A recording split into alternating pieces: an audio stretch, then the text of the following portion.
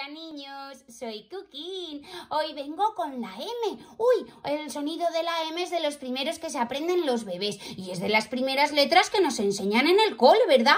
Es que la letra M está en la palabra más bonita del mundo. Está en la palabra mamá. Ay, qué bonita palabra. Y todas esas, todas esas, mamá, mamita, mamaita, mamina, mami, mamuchi, todas esas son muy bonitas.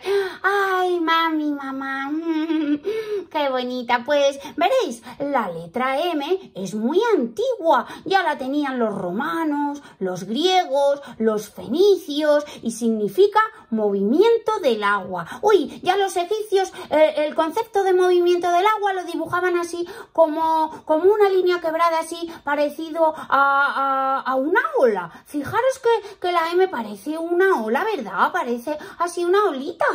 Sí, pues, pues significa movimiento del agua, exactamente. Es el símbolo del agua que tenían los egipcios. Y, y tiene tres patitas. Es como prima de la N, ¿verdad? Los egipcios la pronunciaban como una N. La tiene tres patas. La N tiene dos patas, se parecen mucho. Mira, el sonido de la M se hace así, como si te taparas la nariz y cerraras los labios así. Mm. Mire, por ejemplo, como cuando una cosa huele muy rica, muy rica y nosotros hacemos mmm, qué bien huelen estos espaguetis. Pues ese sonido de mmm, ese es el sonido de la M. O como cuando necesitamos un poquito de tiempo para pensar, eh, por ejemplo, cuando dicen ¿quién se acaba del chocolate? Y nosotros hacemos mmm, ese era yo. Pues ese mmm, sonido de la M, sí, el de mamá. Pues no solamente los humanos utilizamos la M, también otros animales de la naturaleza, como por ejemplo el gato. El gato hace miau, miau, ¿verdad? Pues utiliza la M. ¿Y qué otros animales utilizan la M? A ver, déjame pensar. ¡Ah! Pero bueno, un toro. Pero, ¿qué es eso? Ah, sí, sí, sí, los toros también hacen mu. Ay, ay, por favor, pero, pero no gana uno para sustos en esta vida de cuquín que me traigo. Perdone usted, señor toro, también, también los toros hacen mu, cuquines, también utilizan la letra M. Ay, por favor. Pues, pues sí, pues sí, pues... Sí, sí, también utilizan la letra M.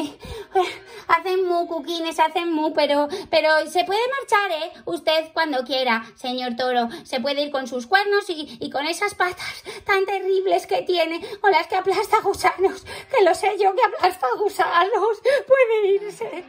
Adiós, hasta siempre, ¿eh? Vuelva cuando quiera. Ay, qué amable. Está su casa, señor toro. Uy, ya se ha ido, ¿verdad?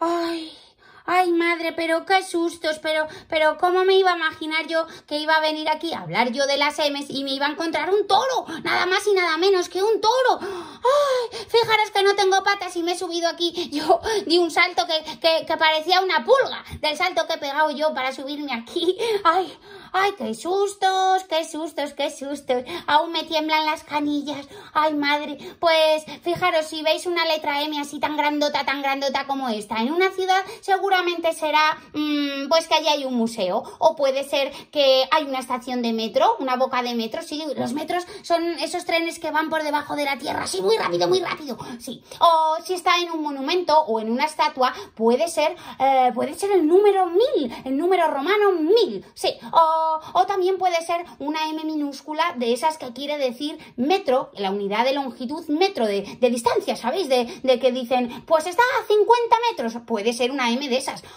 Ay, yo creo que no os voy a decir nada más de la letra M, porque es que la letra M está en todas partes. Hay tantas palabras con la letra M, por ejemplo, música, por ejemplo, mañana, hasta mañana, cuquines, pues eso también tiene una M. Y ahora que lo estoy pensando, iba a hacer lo de... Mm, mm, mm, pues eso también se hace con la letra M. Mirad, probad vosotros, a ver qué tal os sale lo de... Mm, mm, mm, pues eso es con la letra M. es que estamos rodeados de M's. Ay, vivimos, vivimos en un mundo llenos de M's. Si se pudieran ver, estaría llenos de M's como estas, por todas partes. Gigantes, gigantes, M's gigantes por todos sitios. Hasta mañana, cuquines.